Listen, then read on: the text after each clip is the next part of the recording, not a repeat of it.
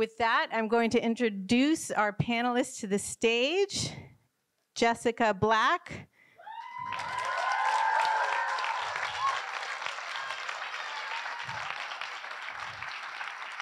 Leila Mottley.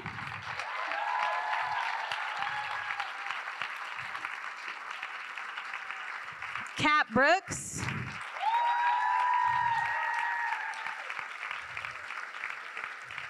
And Angela Davis.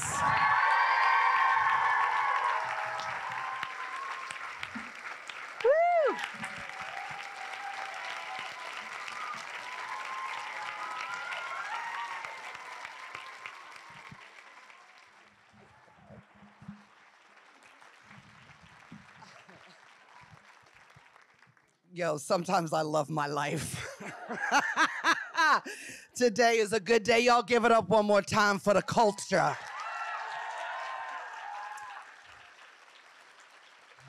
Dr. Ayodele, word slanger Nzinga, and Destiny Arts Center, saving our babies with culture and art. We love y'all so much, so much.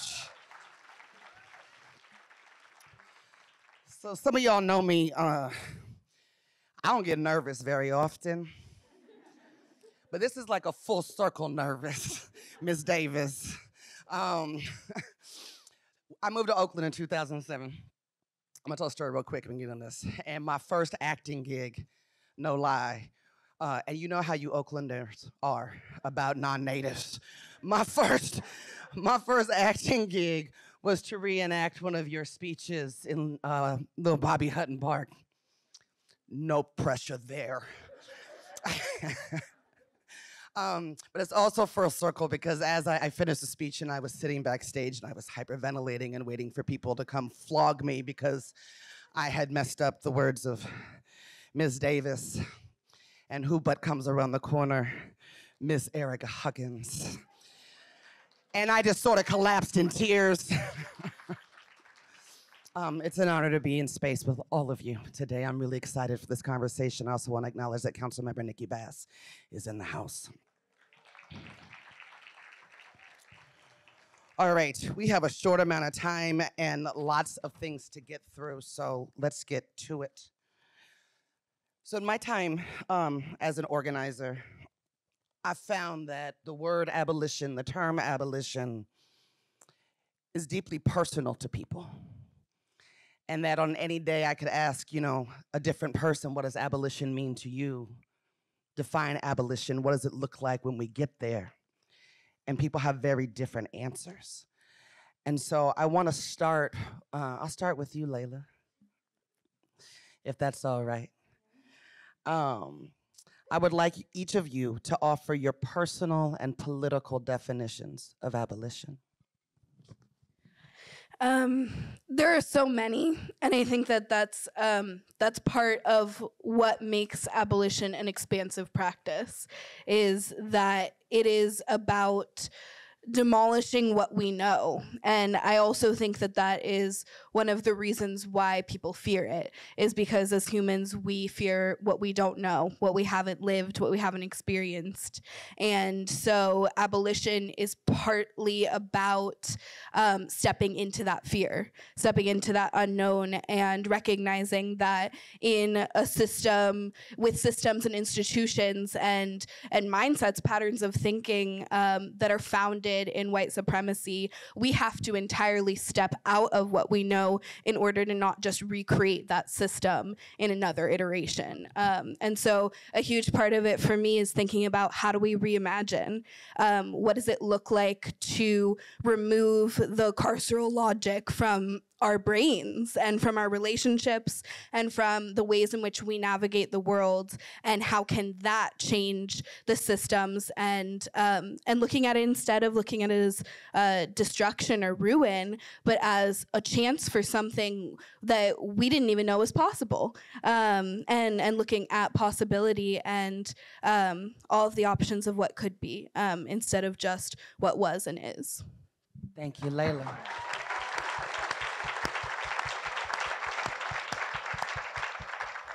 Miss Jessica. So abolition for me, definitely personal and political. I'm gonna mix it in together. Abolition for me looks like growing up in Atlanta, watching police officers come into our community and strip all of the brothers who were protecting us day in and day out, walking us to school buses. Abolition looks like to me watching the police officers walk into our neighborhoods, rape women, plant drugs on people. Abolition looks like to me being a mother who was stripped of her right to her son because this system thought for some reason it was okay to incarcerate him and try to strip him of his dignity. Abolition looks like to me the eradication of these racist systems that exist in this society. We are the people, and we can self determine what things look like for us. Abolition to me looks like radical reimagination, where everybody's voice is included in the solutions that we come up with. Thank you.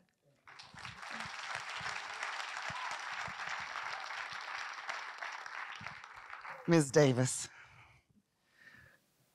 Well, first of all, let me say how wonderful it is to be in this space with all of you, reflecting on these issues. And thank you so much for your contributions. Uh, um, I'm going to try to be succinct. it's not my best quality. Well, I'm not interrupting you, so. um, but uh, since we've already had um, s- such interesting and probing uh, efforts to get at the meaning of abolition, you know, I'm going to say that um, oftentimes we assume that abolition is primarily about getting rid of something. Uh, uh, and this is the, the mistake uh, we made with slavery. It may be the case that um, slavery was legally abolished, but what wasn't, uh, and Du Bois uh, uh, writes about this in Black Reconstruction in America, what was not uh, addressed um, were all of the ways in which slavery had uh, the economic and social and political and cultural fabric of this country. And that is why we're doing the work we are today. Uh, we're trying to get rid of all of the um, influences and resonances uh, of slavery. But what I really want to say is that rather than assume that uh, the major uh, project of abolition is simply to get rid of something, uh, the question we ask is how to create a new world. And how to create a world that does not need racist and repressive uh, institutions like um, the police, like prisons, uh, uh, like um, uh, the, the, uh, the assaults on, uh, on, on families, especially black families and families of color that we associate with the, um, what Dorothy Roberts calls uh, the family policing system. Uh, and so I totally appreciate what you said, Jessica. I totally appreciate what you said. And I'll stop there. Uh, I just uplift uh, Dorothy Roberts' new book, Torn Apart. Uh, folks should definitely pick that up. There's an interesting thing that's happening right now in the public debate, right? Um, abolition is on the lips of mainstream media pundits. Um, we saw presidential candidates, now, regardless what they were saying about it, but we saw presidential candidates have to use the word defund. All of this is right, and, and, and, and one of the biggest pushes, um, successful challenges, potentially successful challenges to the status quo of how America does so called public safety. All of that has collided right, with, with the impact of the economic pandemic, right, which made the hungry, starving, the housing insecure, uh, homeless, the, right, it exacerbated already dire conditions, pushing thousands of folks into what some of us refer to as the underground economy. And so there's been this spike in, I hate the word crime. There's been this, this spike, right, of, of violence in our communities. That's a fact. It's not because of defund, defund didn't happen anywhere. Facts. My question, uh, and I'll start with you, Ms. Davis. My, my, my question is help us understand, right, that despite uh, the attempt to make abolition the boogeyman, right, that's going to make us more unsafe, how actually these conversations about abolition in these direst of times are exactly the conversation we need to be having. Abolition as a pathway to safe communities.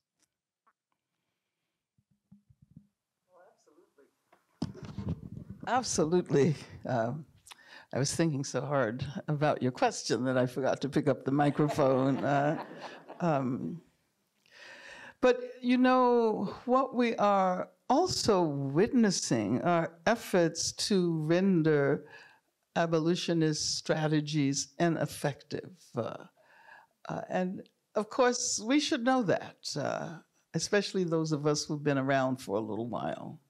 Um, that uh, whenever we appear to be moving forward, and, and, and, and you know, let's think about the amazing actions of the summer of 2020. I don't want us to forget that. Uh, uh, because that was an indication that huge numbers of people in this country are willing now to do the work that will ultimately eradicate the influence of, of slavery and colonialism uh, and will take seriously the need to get rid of uh, structural racism. Uh, and during that period, huge numbers of people also began to recognize collectively that racism is not about you know some people not liking asian americans or not liking indigenous people or or uh, and that all you have to do is to make sure all of the individuals think deeply about their attitudes uh, and change. That's ridiculous That's ridiculous. No, racism is primarily about all of the institutions that continue to work regardless of what individuals think or feel. And, and that was a new insight, uh, even though you know some people, some of us have been saying that for 50 years. I mean, I can remember those conversations happening when I was a teenager, right? Um, but I think uh, um, enough people, not only in this country, because it's not only about the US.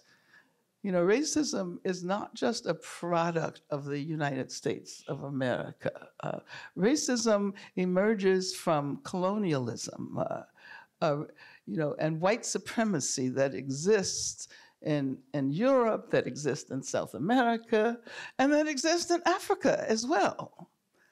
So, um, so yeah, um, it's good that these conversations are happening right now.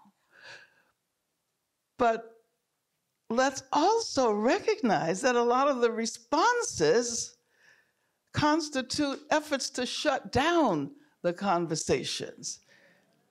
And I mean, I'm going to say something that some people may get upset about. Uh, but you know, all of these DEI formations, there's there's diversity, you know, diversity, equity, and inclusion in every single institution in this country now. And um,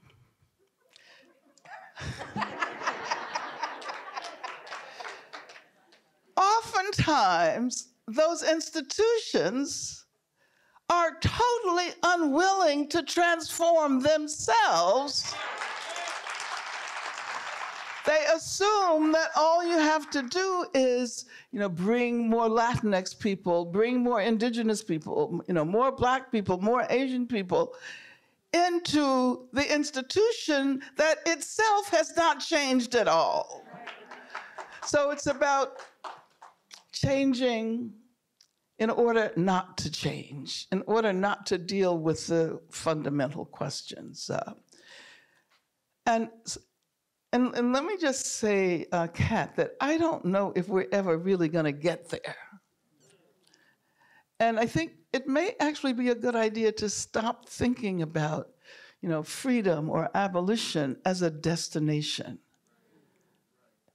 as something that we will recognize as a, as a signpost uh, in our trajectories uh, that indicates to us that we can stop, that it's no longer necessary to struggle. There will always be issues around which we struggle. Uh, and each time we win one victory, we learn about, you know, all of those uh, um, uh, other issues that we had failed to take into consideration. Uh, so I think it's an infinite process. And, and you know, some people might get a little upset about that because they just want to get there where they can say that, you know, I'm free. But I think about Nina Simone. I wish I would know how it feels to be free. And Toni Morrison, who says, who said always that the function of freedom is to free someone else. So you're never going to actually get there where there's nothing left to do. And let me stop there.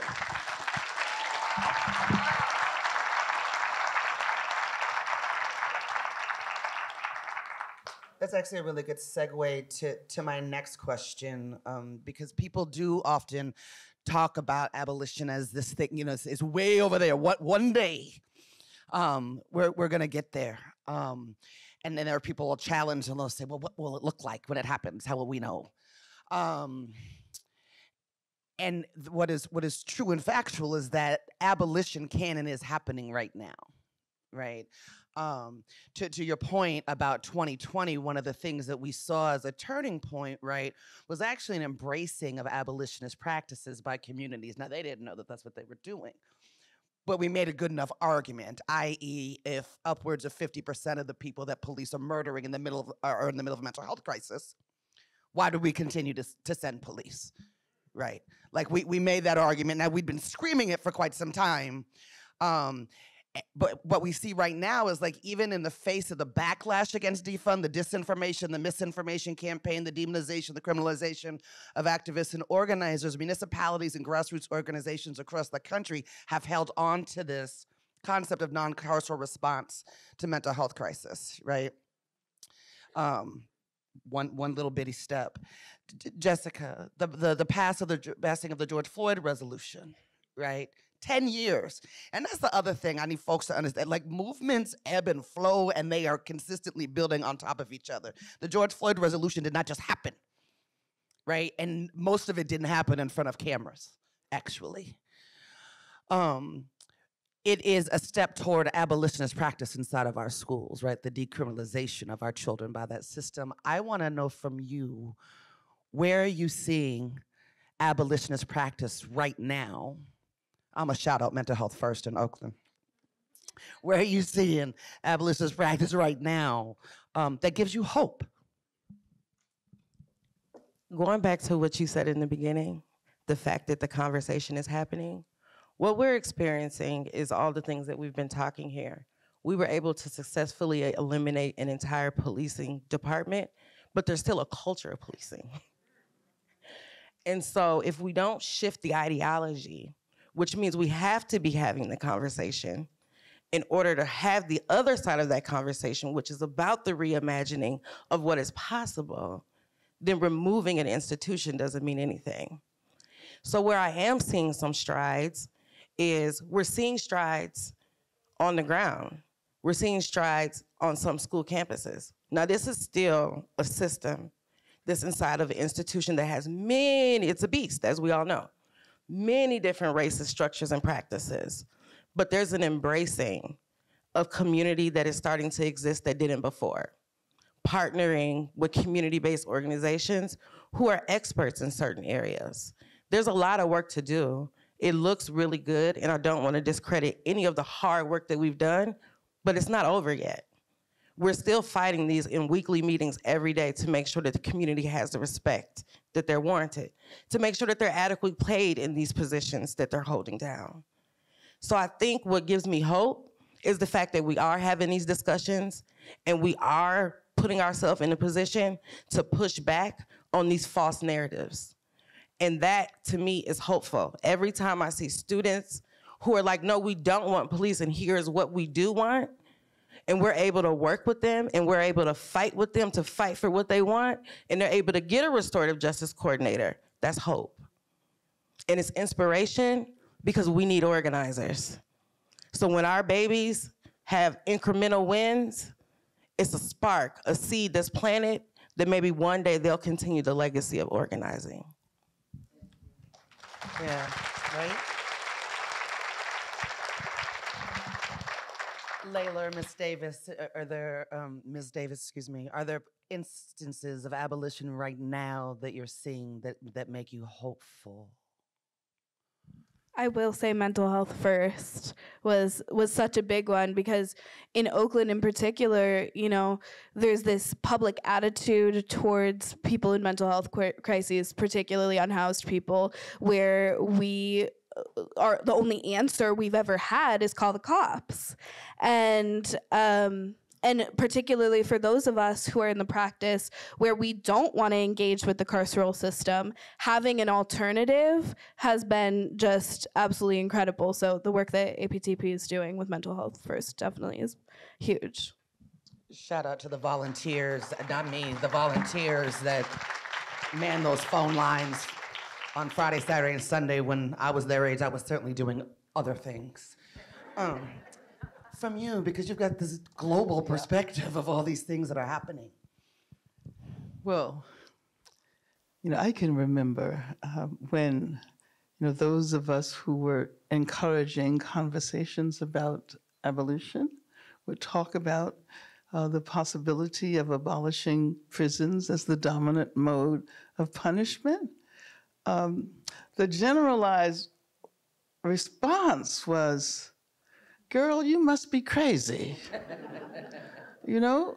I mean, I can remember when very few people were willing to think seriously about the possibility of getting rid of prisons. Uh, um, and even those who, uh, who had relatives behind bars, and even people who have been incarcerated. Uh, and that is because police and prisons are so much a part of the ideologies we inhabit and that inhabit us that it becomes you know almost um, impossible to imagine what it would be like uh, without these institutions uh, now of course people generally tend to think that the entire society is going to remain the same and all you do is get rid of police and get rid of prisons and obviously that's not going to work uh, uh, and and so over the years, uh, we've begun to have conversations about um, what kind of society would not have to rely on these institutions of violence and racism. And that means we have to talk about capitalism.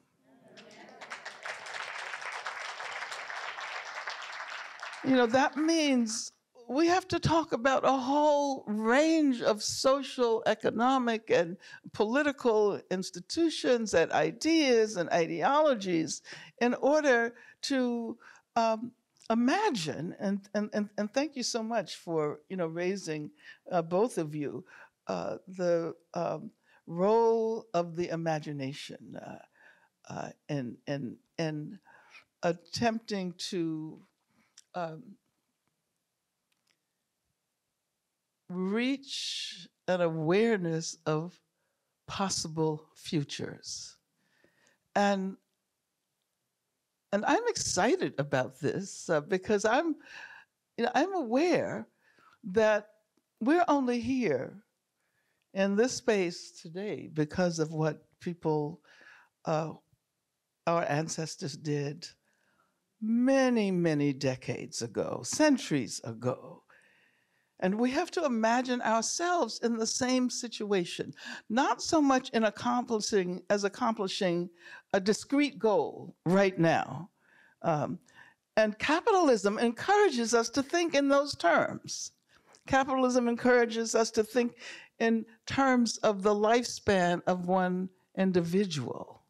The individualism of capitalism is so devastating that, that aside from um, indigenous people and others who have different kinds of um, philosophies and cosmologies, that we don't tend to think about our role in creating a world that may unfold 50 years from now or 100 years from now.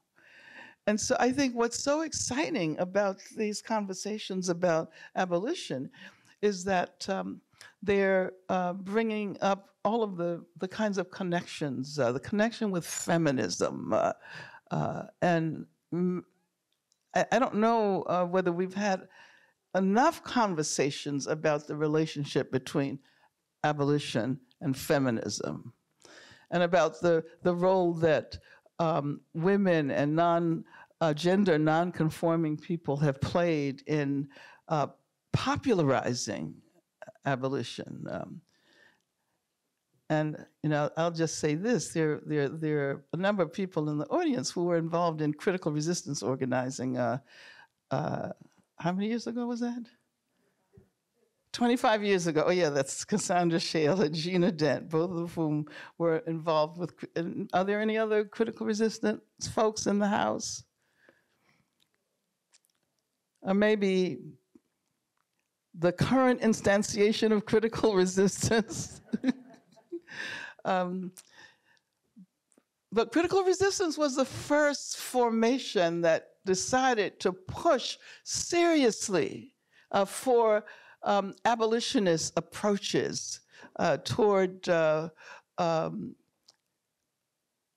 prisons and to uh, uh, urge people not to think about prison reform because prison reform has created all of the problems. The better prisons have been has have gotten, the worse they are, the more repressive they are, the larger they are. Um, so um, yeah, um, that that group that created the first conference that took place in 1998 uh, consisted of about um, I don't know, maybe 30 people, and about 25 of them were women and gender nonconforming people. So I just want to put that out there because women uh, generally get erased. And, and, and, and, and women are the ones who have historically done most of the work around social justice, and especially black women. Come on now.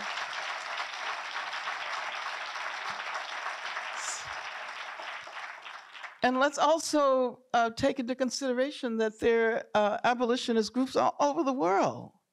This is not just happening in the US. We tend to be too US centric. Uh, uh, and that we can learn a great deal from what's happening in Brazil and what's happening in South Africa and many other places. Um, but yeah. Uh, you keep teeing up the next question for me, so thank you for that. Uh, um, reimagine, right? Reimagine public safety. Uh, folks have a hard time embracing something that they can't see, touch, feel, right? Uh, we humans very much need to like be able to see it, I think, so we can control it. Um, artists right? Uh, one of the things that used to drive me mad as an artist, right, was that we always get brought to the table last minute, right? So we've planned this rally, we've done da da da. Oh, by the way, will you come spit a poem? Sure, okay. I might also have a political analysis, right? That that goes goes goes along with with me showing up. Um, artists are the conscious, or we, they should be, right? The conscious of our communities. They also help us see things that we couldn't see before. Imagine things, right, that weren't in our psyches before. Uh, they create whole worlds through paintings and songs. And so, Leila, I want to turn to you um, and have you talk a bit about the intersection of art and activism and the role of the artists in helping us um, bring into being the, the world that most of us wake up, or a lot of us, excuse me, wake up every single day and fight for. I mean, I create this distinction between art and activism that has such a, a, close and necessary relationship. Because if activism and organizing is the way we contend with the past and the present and think about the possibilities for the future, then art is the way we reflect the past and the present and create those possibilities for the future. And if we don't have that ability to dream, especially as Black people, we've been deprived of the, the time, the space, the the ability to rest and imagine and have that relief, that space, that expansiveness. And that is necessary to having this kind of organizing be sustainable. Um, you can't sustain if you don't have that hope really and um, and if you aren't able to constantly rethink um, and then i also i think that it art decreases the distance that we are able to have um, between ourselves and kind of the idea of the abstract politic. Um, because when we get so deep inside theory and concept, we tend to remove ourselves from it. And the minute we remove ourselves from it, we feel no responsibility to engage. And art is what what decreases that distance. You when you love a character, a song, um, when you when you learn to invest in in something um, through feeling first, then it's so much harder to remove yourself from the accountability of what that looks like in day to day practice. Yes. Yes.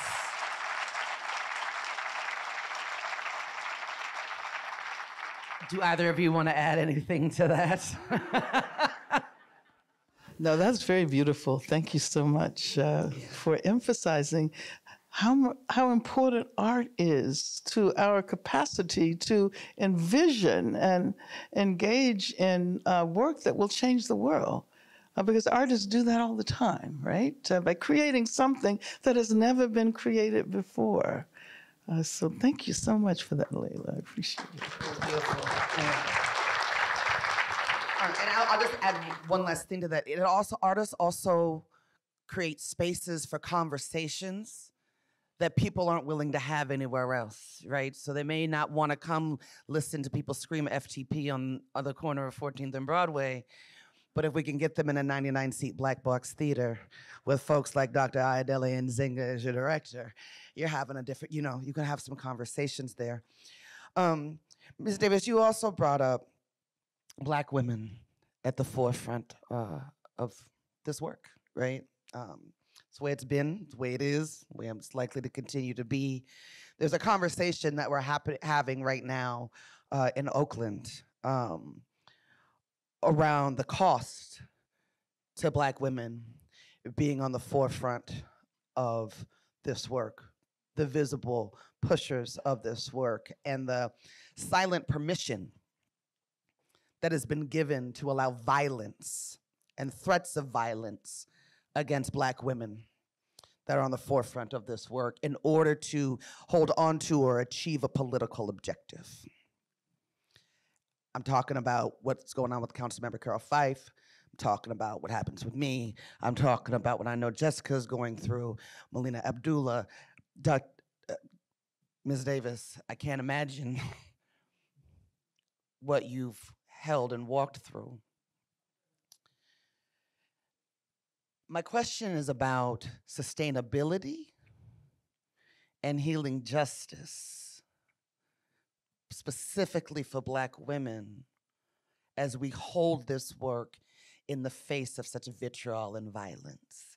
And I know it wasn't on the questions I sent out, but I just think it's too critical of a conversation because if we're not taking care of Black women, then I'm not sure where our movement goes. Ms. Davis, I'd like to start with you.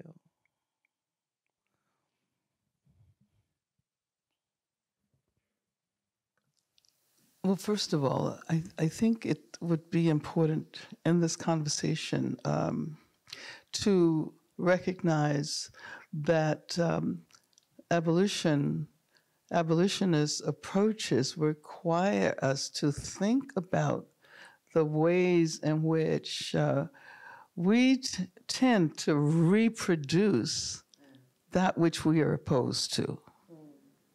Uh, because oftentimes one uh, can uh, clearly identify with efforts to challenge the police and get rid of prisons, but then inside a relationship, those same impulses to punish, to hurt, to get back at someone, they emerge.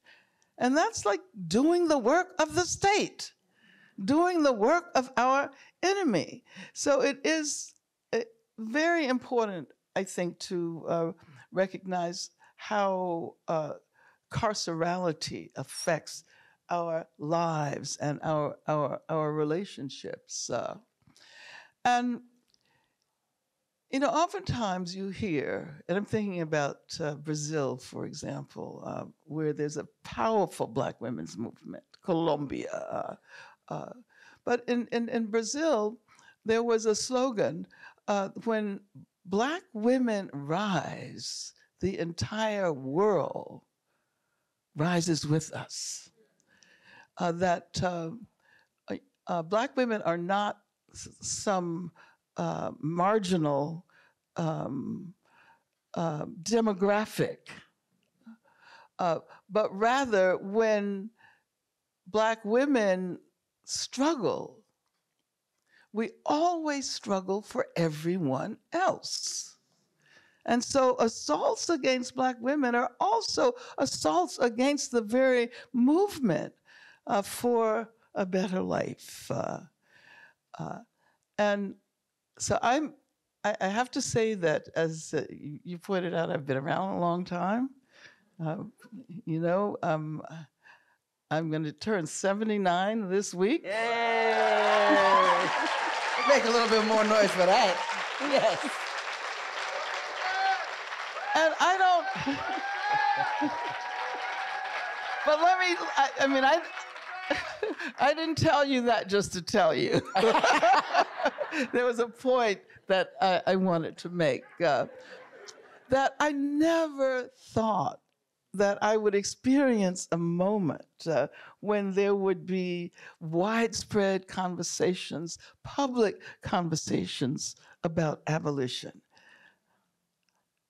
I always, and I think, you know, those of us who've been doing the work, we always imagine that it was gonna, it was gonna happen, but it was gonna happen um, decades from now, and that we would not be alive to witness the, the ways in which uh, uh, people began, would begin to shift toward a different way of thinking about uh, uh what is called you know, public safety and security. And today, uh, we can see uh, the fruits of our labor. Oftentimes, you don't get to see, you don't get to experience it, and you shouldn't count on experiencing it uh, because we're not doing it for ourselves. We're doing it for everyone, including for those uh, who are not yet born. Uh, I mean, that is the only way struggle for freedom makes sense. And thank you so much for you know talking about freedom and and and and, and liberation. This is and and and I do want to say that what is so remarkable about black people, and I'm not saying this uh, just because I'm black. I'm saying that what is so incredible is that for for centuries, that impulse to struggle has been passed down from one generation to the next. I mean, if you, if, if you think about uh, uh, what it means for that, that impulse to have been renewed over and over and over again, and we're talking about renewing it for generations to come. I mean, that's actually remarkable. I mean, that is why Black history is important. Not so much because it's about Black people, but because it is about the quest for freedom because it is about infinite uh, movement toward liberation. Uh, and and and that's why I think I was saying that I don't think I don't think we should think of it as a as a as a um, uh, an endpoint. Uh, as it's it's not a destination. It's rather the journey itself. And in the course of engaging in that journey, we become aware of, of so much more.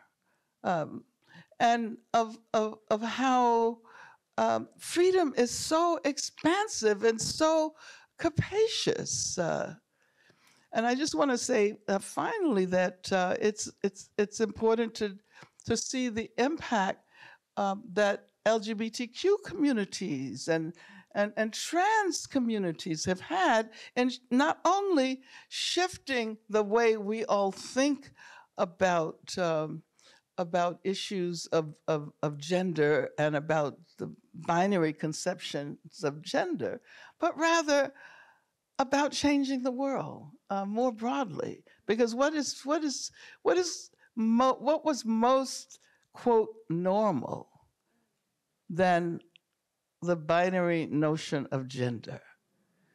And the trans community and its allies have completely blown that away. And if that can happen, there is, there is no limit to what we can do. Uh,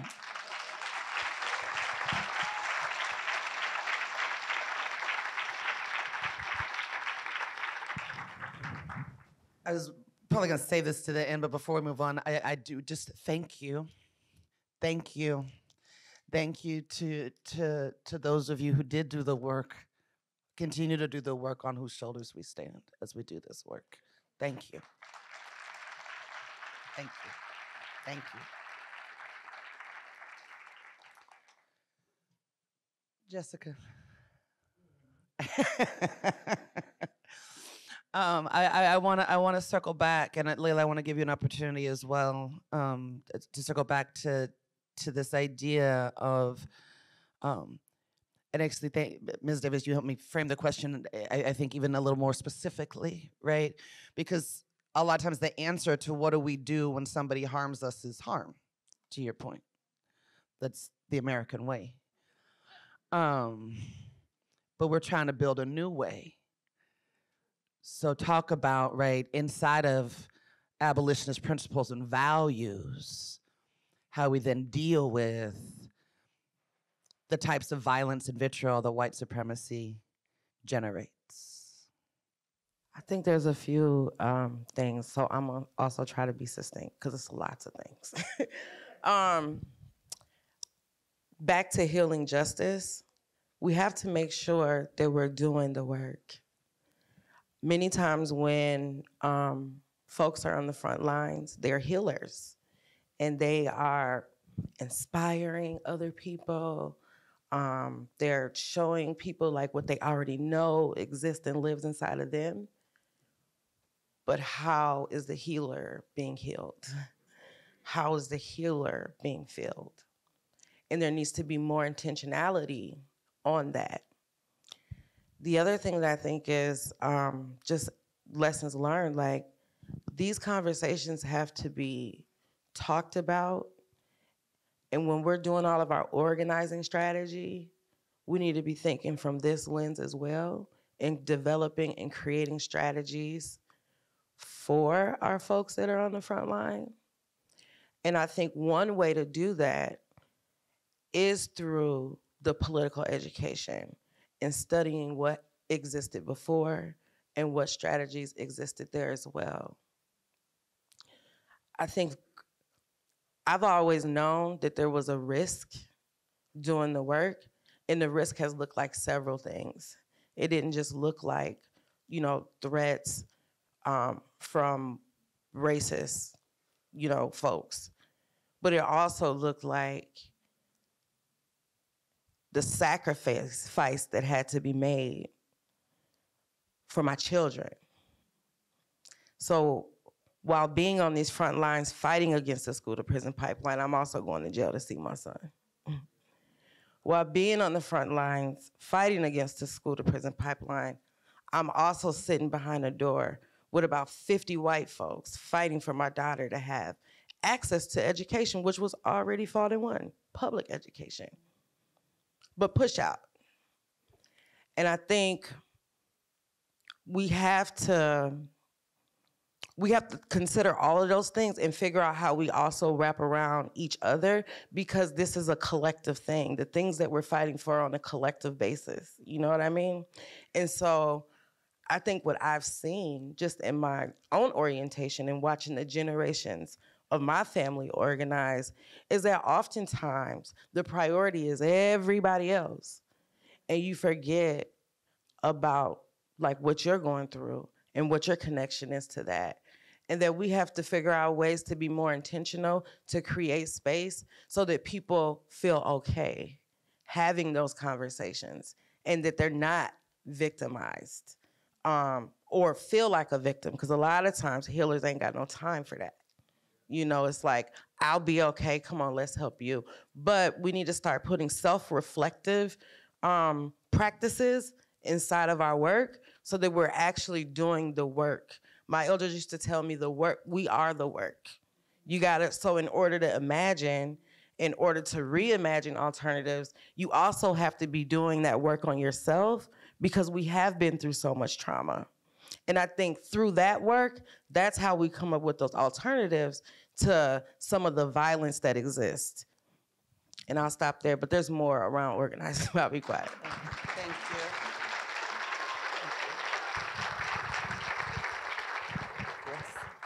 Leila? Yeah, I mean, I talk about this a lot um, when I'm talking about my book because I wrote this book about police sexual violence, right? And I think at the core of it, it's that this world does not see black women and black girls who are turned into black women far before they are um, doesn't see us as vulnerable. And if this world doesn't see us as vulnerable, then it sees no reason to protect us.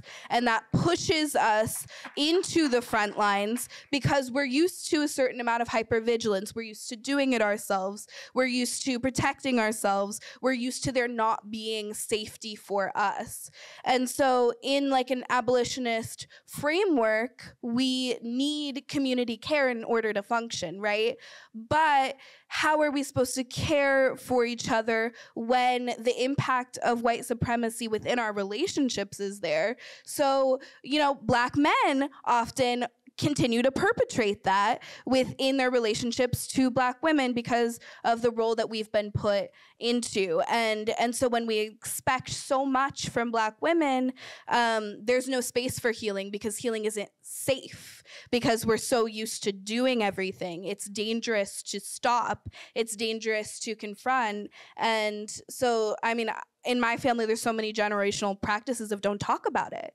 Because if we talk about it then we have to feel it. And if you feel it how do you keep fighting and working? How do you protect yourself? And so a huge part of what we need to do is dismantle that within our relationships so that we can provide ourselves the community care that allows us the foundation to heal um, and to confront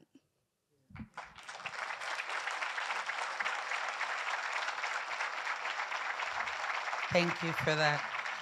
And I'll just I'll just say two things that I think are, are really important, right? We're talking about state violence and black women and girls, that sexual assault is actually the primary way that black women and girls experience state terror. Celeste Guap was uh, the rule, not the exception.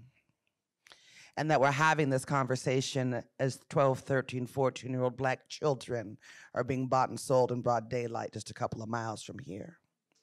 We drive by them every day, every single day. Um, I think we have. We're gonna collect questions now. I think. Yeah, don't want to interrupt this this moment, but I want to remind everyone if you're finished with your questions for the panel, go ahead and send them to the aisle, the end of the aisles here, and the volunteers will come by and collect those from you. I want to I want to stay here on this thread a little bit, uh, black black women and girls, but we can expand it. Um, some I want to talk inside particular paradigms, right? Like how we achieve, how we talk about the pathway to get to um, abolition inside of certain paradigms. Right? I'm thinking about intimate partner violence, domestic violence, right? So I mentioned um, that that we've we've been able to hold on, I think, nationally to this idea, and it's growing that law enforcement should not be the first responders, in our opinion, any responder to mental health crisis, right? It's become an easier conversation, like to, to have. That is not the case when we say to people that there should be a non-carceral response to intimate partner violence. That's when people don't look at me and say, "Girl, you must be crazy," right? Like, okay, Cat, we walked with you this far, but did this too much. Um, but the facts are, right, that, that for 40 plus years now, we've used the carceral state to respond to intimate partner violence, and women and girls are no safer. We're actually less safe, right? And or incarcerated for trying to do for ourselves what the state said it was going to do and failed to do. I mean, I could go on and on, right? Um, so I, I, I want to I want to talk about abolition inside of that that paradigm, right? Like when abolition as a response, abol, as abolition as the response to, to violence. Um, Jessica, do you want to start? Uh oh.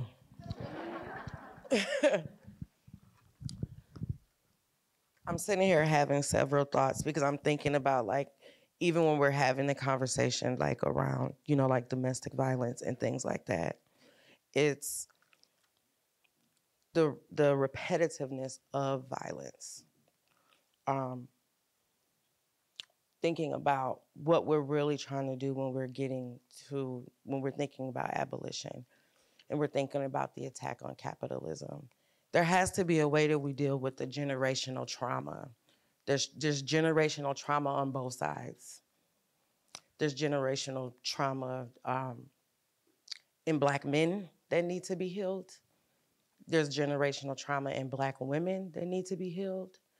And so I think that, as you were saying, Leila, those are conversations that inside of community, inside of our communities, inside of our families, that oftentimes, let's just be real, people don't have the tools to be able to have those conversations or even begin to know how to have the conversation to get on the path of healing.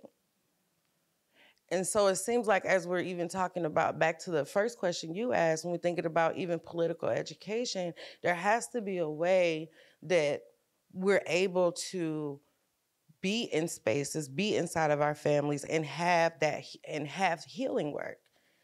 The the trauma that we experience as a people, period, is egregious.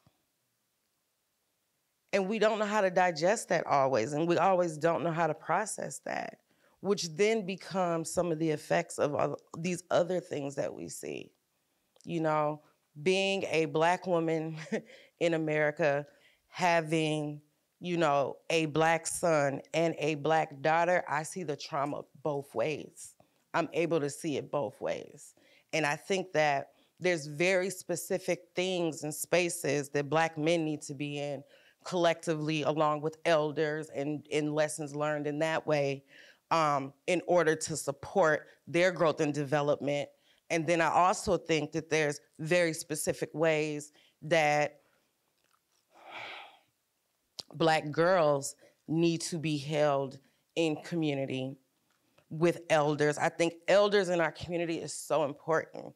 Uh, we didn't get to talk about this, but again, I'm going to come at everything from an organizing lens. That's why I think organizing, the, it's important to be multi-generational because everybody has a role.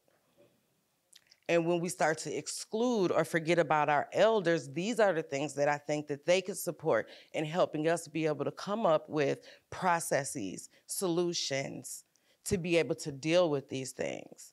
And oftentimes, when I look around at some of the stuff, you know, across the state and the country, is more focused on just young people.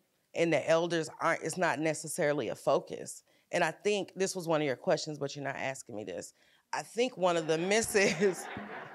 We call that self determination. I think one of the misses that we have in terms of the movement is how do we all fit and how do we make sure multi generationally all the perspectives exist? And yeah, and so I think that every community, because you know we're here, you know, talking about the Black community in our conversation, but every community has their own cultural work that needs to be done. Every community has issues. Every community has problems, and every community needs to do their own healing work. I'm providing suggestions from my perspective, just from you know being a parent and being a black woman in America about some of the things that I think that are missing and where those answers exist. Thank you. Thank you. Ms. Davis?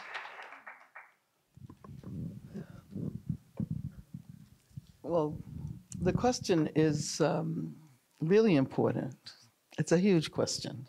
Um, uh, because you're right, uh, we see some changes in the ways in which people think about response uh, to um, certain situations, such as uh, mental, mental health crises. Uh, and now we, we, we, we learn that uh, in California and elsewhere, that the majority of calls that police actually receive have nothing to do with activity uh, that is constructed as criminal. You know, most of the police calls have to do with situations that require uh, people who are compassionate, uh, who are trained uh, to, you know, who are not trained primarily uh, in terms of instruments of, of, violence, because that is what the police do, uh, but who uh, uh, who, who, can um, have the kinds of conversations with people who are in crisis that can let them know uh, that they want to help. That it's not about sending someone to jail or prison. in terms of, um, in terms of the issue that you raised about sexual violence and you know, how do we reach the point uh, where we can th- think about or urge non you know, carceral responses uh, to uh, sexual violence. Uh, by the way, I recently wrote a book along with um, my partner Gina Dent and uh, two other scholar activists that's called Abolition, Feminism, now. There's a period. Uh, that's why I stopped after each word. It's the abolition period, feminism period, uh, now. Um, and, you know, of course, um, we raise the point that um, gender violence is the most pandemic form of violence in the world.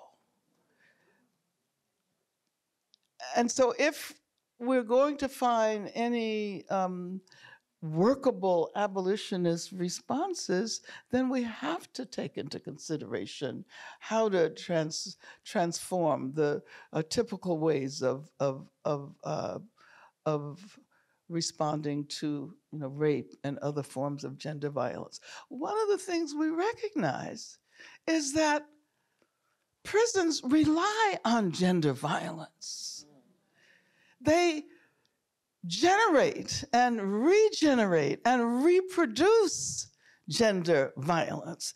And, you know, why is it that there, uh, we're in a situation where when people talk about guys going to prison, they oftentimes joke about rape in men's prisons.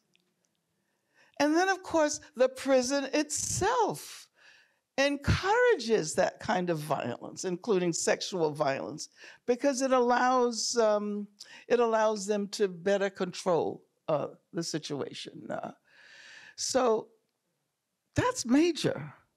That's major. And when we begin to think about the very the very process that is supposed to reduce gender violence actually has the effect of increasing it and uh, reproducing it. Uh, so what I would suggest is uh, looking at some of the amazing work that activists have done uh, in terms of figuring out, you know, how not to have to call the police in those situations. What other ways uh, uh, can be used, and, and, and, and including, um, you know, community shaming.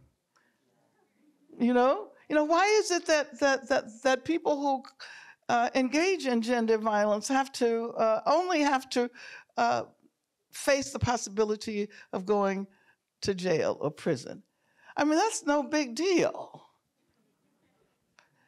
Much worse would be shamed by the community to have everyone know that they are, you know, rapists, that they engage in this kind of violence, and and you know, not only against uh, uh, people who identify as women, uh, but against all genders. Uh.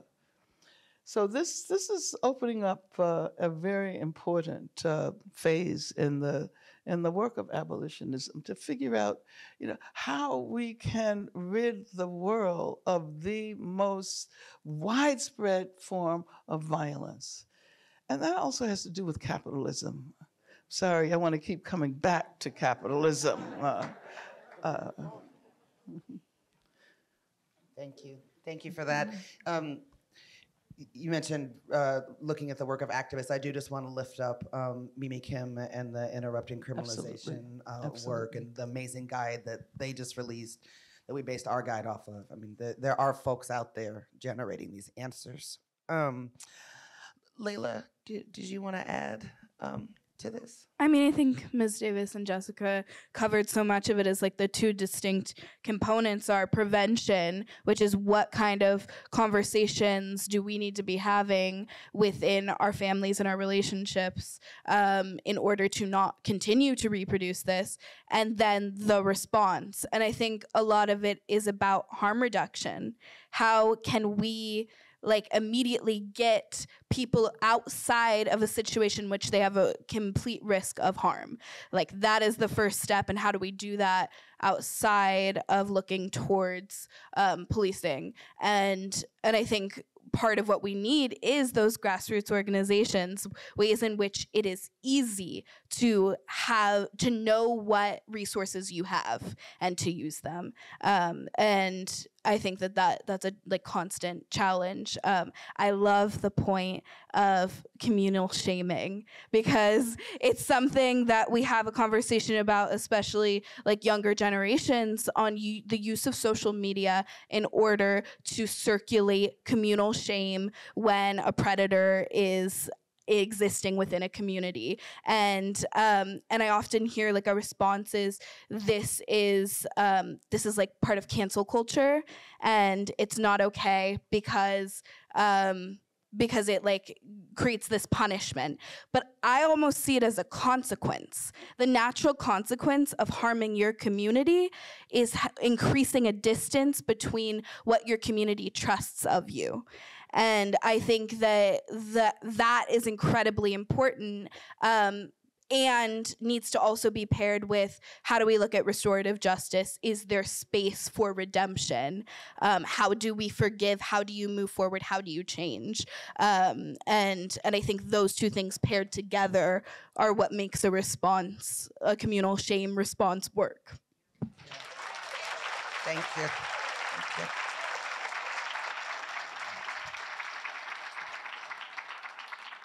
All right. We have some questions here.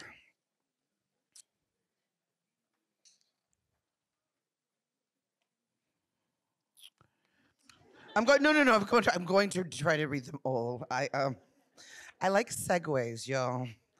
Um, I'm gonna. I, I'm gonna ask this question um, because uh, it comes from one uh, one of our young people that are here. Um, and this young person uh, would like to know what do we do with the prisoners if the prisons are closed? Does someone want to take that? I get to just ask the questions. I don't have to have answers today. My answer would be There you go. I think I don't think we have to have the answer right now. I think that we work with you, young people, and we we go back and we imagine where would you like to see them be? What does it look like? I don't think we have to have the complete answer for that right now. I think generationally, I'm sorry, you want to go? I think to your point, um, Ms. Davis, some of these changes aren't going to happen right now in our lifetime, but we can plant the seeds and start the conversation. And there'll be other people that take the torches and continue to build it out. You know, I'm going to take another position on this question. Go ahead. what I'm going to say is that I think that if the prisons were emptied tomorrow, we would not have any more problems in what we consider the free world than what we're having now. And precisely because a lot of the sisters and brothers and other genders behind bars have been doing really important work over this last period. I mean, the intellectual energy inside prisons is amazing. That's right. And so, what I would say to the person who asked that question is that we need to bring them home so they can help us figure out, you know, how to make it without the entire planet being destroyed. Because, I mean, right now, uh, we are facing these crises that threaten to destroy the planet. I'm so glad we're not drinking out of plastic bottles up here uh, this morning, this afternoon. Um, but but yeah, I think that if we could use some of that energy and we could use some, you know, some of these, some of the people who've been in prison have been studying for 20, 30, 40 years. And I think they have a great deal to contribute in terms of finding solutions to a lot of the problems that we discussed on this stage this afternoon. I would just say before I ask the next question, too, that the, reality is that the vast majority of folks that are incarcerated actually are going to come home. They're coming back to our communities, right? Um, with, with little to no supports, leaving some of the most violent institutions in the world. They are coming home. Um, and We need to bring them home Yes. sooner. Mumia Abu Jamal Oh, should be yes, freed. Yes, yes. Leonard Peltier needs to be freed. I wasn't suggesting we wait. My, my, my point is, is, is that there's this idea, I think, among folks that believe that the carceral state solves our problems, that people go to prison and then they're there forever and ever and ever and ever. Um, and so it's okay in your minds to forget about them. A, no, it's not okay to forget about them. Yes, free them all to, right now, right, right this second. And um, it's this cycle of violence, right? Um, we just keep cycling through through violence um, with with no actual And solution. can I just say one thing? Yeah, you can say whatever you want. My, but Ruchell Magee, who was my co-defendant, has been in prison for 55 years, and they will not release him. I mean, he's in his 80s now. And you know what kind of system does that to human beings? Uh, I say free them all. yes. I also think that like we have this illusion that we're safe now and we're not. And and part of this we create this distinction between there are incarcerated people and then there are us. But incarcerated people are people and if we didn't have some of the things that we do to incarcerated folks once they get released from prison, we might not even know that the person next to you was incarcerated. And when we have so many people who have been incarcerated, we have to think about like how can you shift the mindset of not seeing incarcerated folks as other because that enforces the idea of like criminality and this demonization of people who have been in prison. Mm-hmm. And I want to also just add to that, like as we're having this conversation, one thing that we have to be thinking about too is like, where's the next generation of organizers that is going to fight to get our people out? How are we raising up that next generation of organizers? Um, and I think that that's a relevant conversation we have to be having, like each one, reach one, teach one. The, the landscape of organizing is short right now, and we need more young people, we need more parents, we need more students, we need community folks, we need more elders to actually be engaged in these fights. And so one of, when I was thinking about this, this response, it's like, how, how can we get these people engaged in these fights to learn? To learn, how do we fight to get them out? How do we come together? How do we bring more people into the fold to actually develop strategies or even continue strategies that already existed that did work to apply pressure so that our people are released? I, am just going to lift up um, grandson, who is actively organizing right now, um, and and so there's there's lots of stuff on social media about ways you can plug in uh, to that campaign right at this moment. And and the other thing I think I'll say is, is we talk about the incarcerated folks there's also their children, their loved ones, their parents, right? My daddy did 10 years. That's that's a base of folks that are ready right now to organize to bring their loved ones home. Um, this I think is an important question I want to get to before they they they um, shut us down because this is moving right now. This conversation in California about reparations and which black people should get reparations and which black people should not get reparations, as if all black people in this country are not suffering the impacts of, of chattel slavery being the foundational economic engine of this country. So the question is do you believe African Americans are due reparations? What do you believe that should look like? Uh, Ms. Davis, I'm going to start with you. Well, you know, abolition. I, you know, I think it's it's really important to move away from assuming that reparations involves giving individuals money. I think that um, reparations uh, for uh, uh, Black people in conjunction or in connection with the damage and the traumas that have been produced and reproduced since the era of slavery have a great deal with um, uh, creating a more radical, um, more radical democratic society.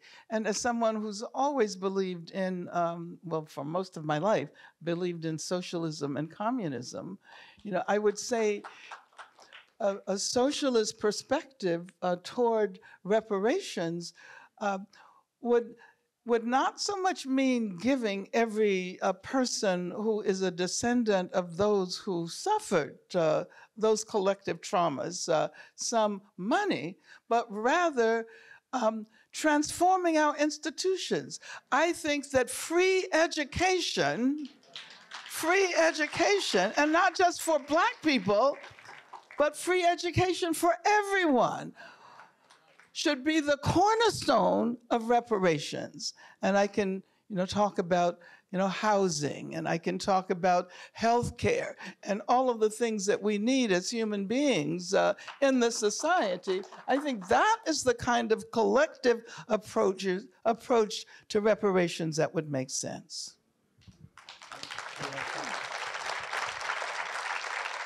Leila, Jessica. I mean, how do you monetize a life? How do you determine how much our trauma is worth? How how is that possible? Um, I love I love that idea. I think that that that makes sense to me because also you have to think about like money now, but also what if we had been able to buy houses, you know, 30 years ago before it cost $2 million to buy a house, you know? And so you have to be able to reverse time to actually repair from this. I don't think it's possible to fix it. And I think if that's the goal of reparations, like there is no way to fix it. And I worry that um, the state believes that then it will be over. Then they will have owed us what they owed us, and then it's done. Uh, I mean, I, I will just say, right, in, in, the work, we, we watch the state monetize our lives, right? Seems like a, a, a stolen black body is worth about somewhere between 500,000 and, and, and a mil, and then they do expect the parents to be done for it to be over, right? Um,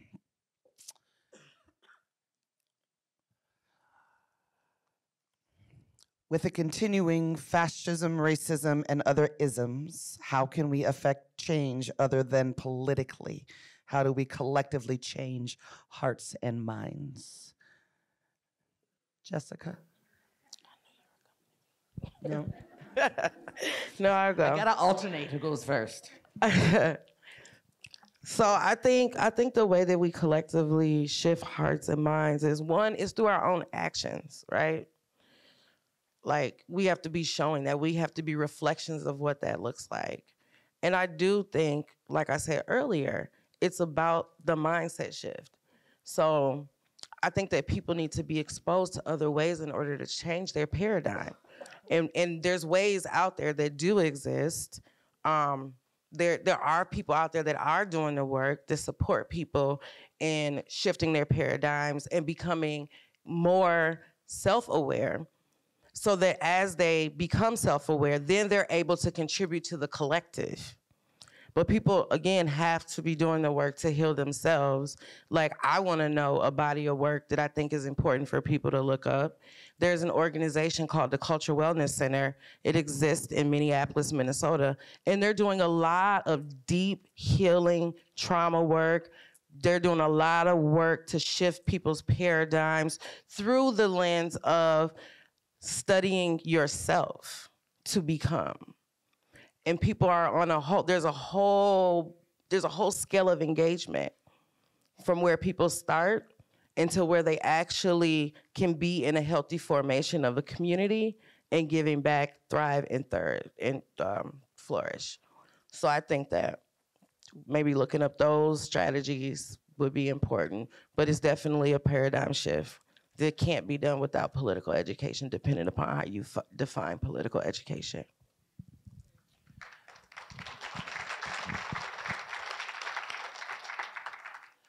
This question comes up on almost every panel. Um, and I, sometimes I crinkle my nose at it, but that's mostly just because I'm bad at it.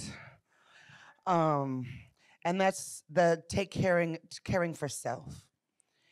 And I, I think this, this question specifically says, how do you take care of yourself as an abolitionist knowing, I think reflecting on one of your answers, Ms. Davis, knowing this fight will continue past your generation? How do you sustain rest to remain in this journey? Can I add another part to that question? Sure. Um, I guess I wonder in in the youngest generation, we have this kind of like uh, catastrophic idea, which it might be very true, that um, the world is ending. And with the climate crisis, that we won't make it that many more generations.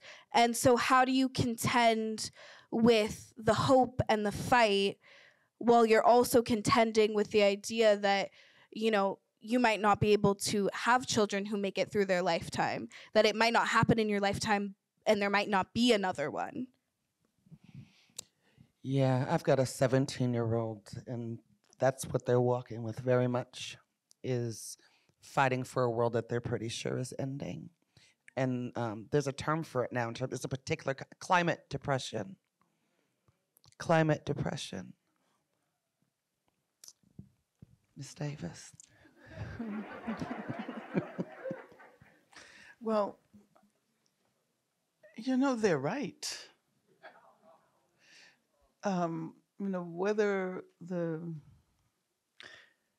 you know whether the the planet lasts longer uh, than it is destined to last, given the damage uh, to the planet as a direct consequence of capitalism and as a direct consequence of, of not encouraging people to think about the generations that come after us. Uh, to, you know, as a, as a, as a consequence of not encouraging people to think about the fact that this bottle of water that is made of plastic may eventually make it into the ocean and may kill, help to kill marine life.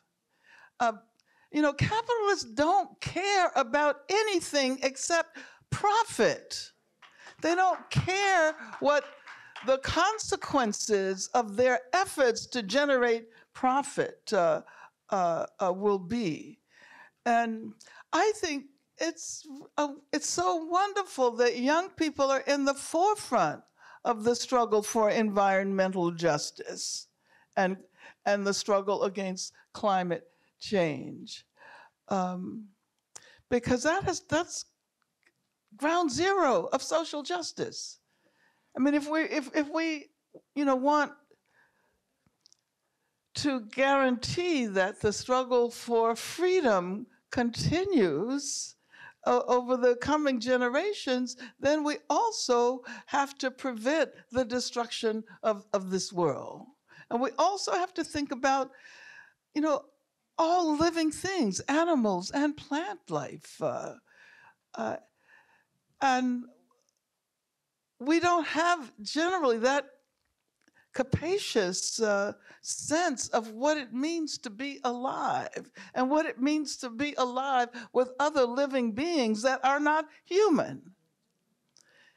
And what it means to be a part of a culture in which progress or advance necessarily means a further destruction of this planet that we inhabit. Um, and I was just um, um, thinking about the fact that uh, you know we look at animals and and like ants, for example, who make these huge um, you know architectural uh, miracles actually, and they they use the earth, they move it, um, but their intervention does not destroy the earth human beings can learn a great deal from non human animals who know how to use what is produced by the earth without destroying it in the process. Uh, and I think that um, that sense of doom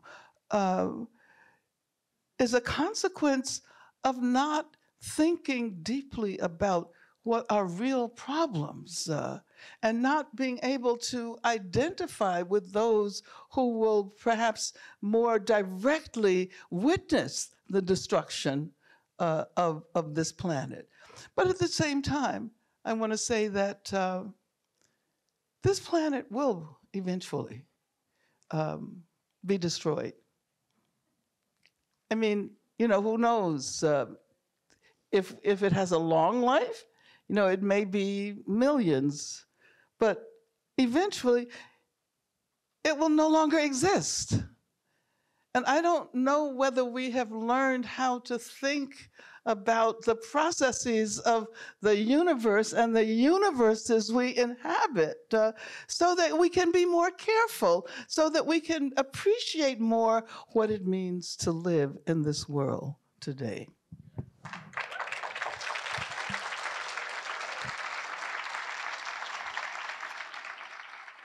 All right, Oakland, show some town love for Leila Mottley, Jessica Black, and Ms. Angela Davis. This has been a fire panel. Thank you so much.